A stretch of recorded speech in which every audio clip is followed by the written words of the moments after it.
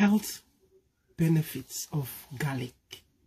One, it helps treat infection and improves your immunity.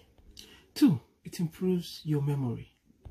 Three, it improves your blood pressure. Four, it lowers cholesterol. Five, it reduces the risk of heart diseases. It improves strength and stamina for athletic performance. It improves bone health. It helps maintain healthy gut. Garlic acts as an anti-inflammatory.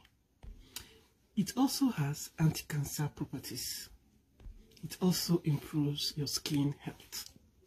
It also helps to treat mild to moderate metal poisoning. So now you see all the health benefits of garlic and why you need to eat garlic. I know you may not like the pungent smell that comes out from eating raw garlic, but you want all these health benefits of garlic.